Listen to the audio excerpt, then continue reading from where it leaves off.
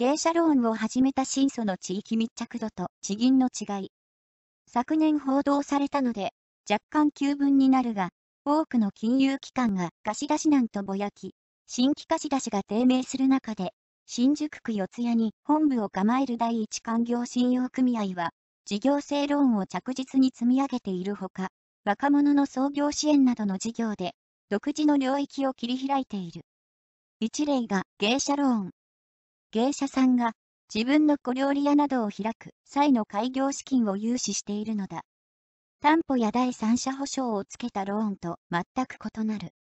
無担保、無保証であり、ローン実行の可否を決定づけるのは、お金を借りる芸者さんの人物評価である。芸者の保険にかけて借りた金は返しますだとか、究極の事業性評価と言ってもいいだろう。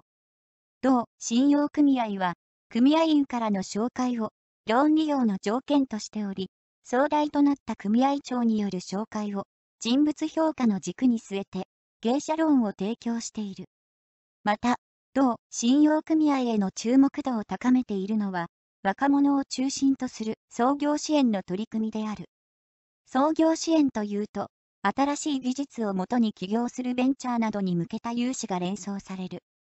ところが、第一、官業信用組合の創業支援は、もっと幅広い飲食業の開店などへの融資である。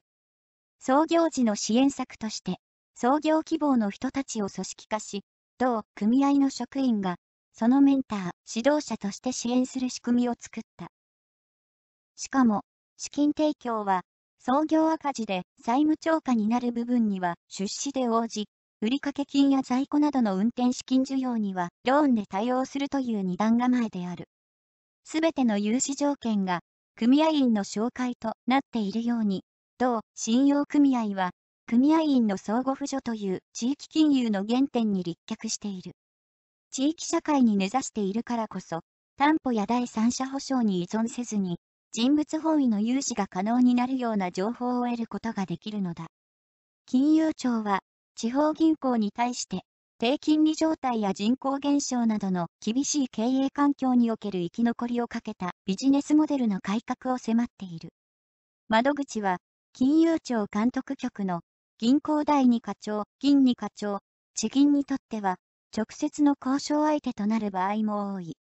金融庁で7月7日に一度、堀本義雄監督局総務課長が、兼務で、銀二課長に就くという人事が発令された。ところが、直後の翌8日には、島崎育夫現銀二課長の就任人事が発令。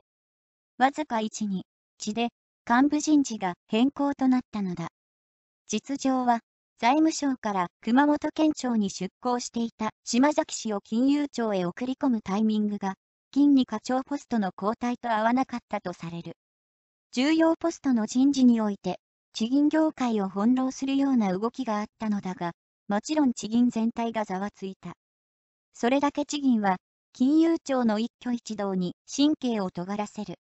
多くの地銀はビジネスモデル改革を掲げながらも、慎重な融資態度を変えようとしない。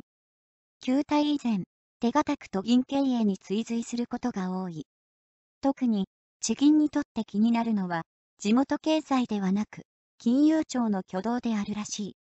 その合間に、地銀が一段低く見下ろす信用組合の方が工夫を凝らした融資で、地元経済の活性化に寄与している例がいくつもある。